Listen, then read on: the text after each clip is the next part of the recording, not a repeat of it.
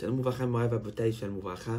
בעזרת השם, בזכות הצדיק על פי חיים פינטו הקדוש ברוך הוא, בעזרת השם ייתן לכל הקהל ולכל הקהילה ברכה והצלחה, בסייעתא דשמיא גדולה, מלכה דם וחטא וזכתה, זכות הצדיק על פי חיים שיגן בעדיכם, ושהקדוש ברוך הוא בעד השם will renew the, today to renew this week, the week full of Yeshuot, and that we will all be redeemed from all our problems, and בעד השם brought to a place of true שמחה and, and ברכות אמן לקניית בעד השם. והנה רבותיי, ברוך השם, we are right now at a very important time of the year. Baruch Hashem Rabotai, just a few weeks ago we finished Rosh Hashanah and Yom Kippur, the beginning of the year.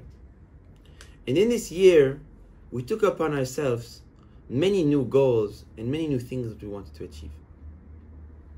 Whether it's physically, whether it's spiritually, whether if it's our promises that we've made to HaKadosh Baruch Hu, whatever it is. We all need to understand that in this period of the year, that now the year started, and we're getting into really a time of work, of maaseh. There's no chagim, there's no, um, uh, you can call it even distractions. At the time where Kadosh Baruch Hu emptied out our calendar to allow us to truly focus on what we are supposed to be doing. We need to remember and we need to make sure that even though life is going to get very loud, and that we're going to have a lot of things that are going to come into our way, those promises and those goals that we put to ourselves on Rosh Hashanah and Yom Kippur could not come to a place of Chas Shalom losing them. The Hasidim gave a beautiful story to explain to us and to give us a little bit of understanding of what it's like.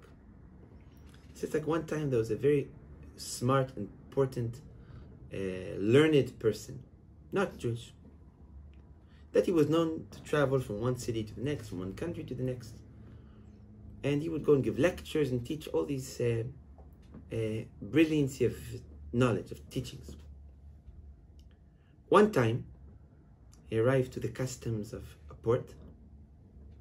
And usually, when you come to the custom of the port, everyone take out their ticket and they show their ticket to where they are going, and then the man allows them to go through. So, this very smart scholar arrives to the desk, to the booth, and he starts to look for his ticket. And he looks and he looks and he looks and he doesn't find it. So he starts to get stressed, looking at every single pocket, looking again, trying to repeat the search in the same pockets that he already checked. And the man that was the officer, the man that was standing in the booth, recognized that this man is who? Is the famous uh, professor. So this man, he looked at the professor and he said, You know, don't be worried. I know who you are.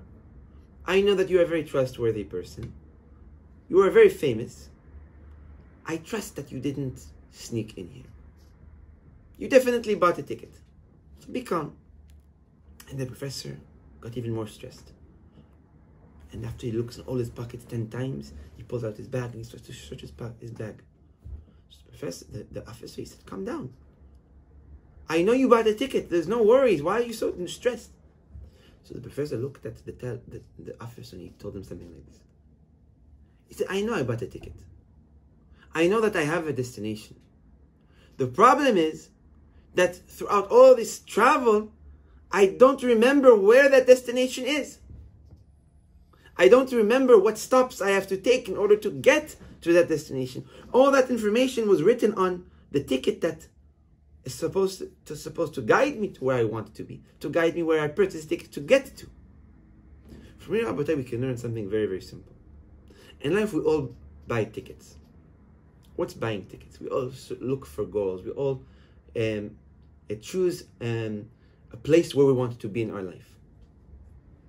And with that ticket that we purchase to ourselves, we also make like a step by step uh, uh, achievement that we have to reach in order to get to our goal. But you know, Abutai, with our life that is so loud and so many things that are happening with us, a lot of times we can lose the ticket and we can lose the steps that we so clearly put in place to reach to our goals. We can find ourselves Abutai to a place where we lost our ticket. We lost our destination. We lost the steps that we were supposed to take to reach our destination. We lost the stops that we were supposed to go on. And that is how about something that we're not allowed to do, especially in this period of time that's in the beginning of the year. You know, A few weeks ago, we spoke to somebody, and we were talking about the challenges of this generation. And he told us something that I think is very, very important. He said, you know, a lot of the times we confuse between what is urgent and what is important.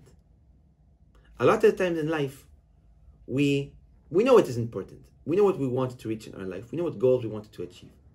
But we are distracted about what is urgent. And the things that are urgent sometimes can be confused about what's important. So we come to a place that after we took care of all what is urgent, we're left with nothing in our hands. Abotai, throughout the year, a person needs to remember and needs to hold on to the goals and to the, the destinations and to the ticket that we bought on Rosh Hashanah and Yom Kippur. And we need to remember, to, and that in order to reach to our destination, there will be steps that we're going to have to take out of the way. And if we miss those steps, it's going to lack, it's going to delay uh, us to reaching our goal.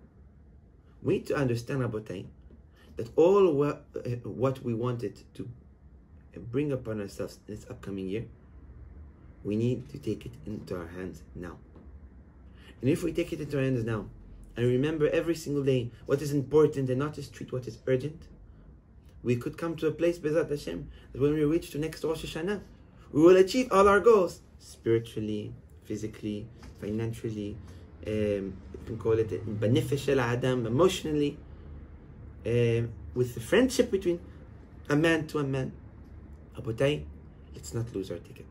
Bezat Hashem Baruch Hu will keep us in the right path. We will hold our destination and we will take every single stop within that destination to reach Bezat Hashem to where we want to be and where we are meant to be. Amen.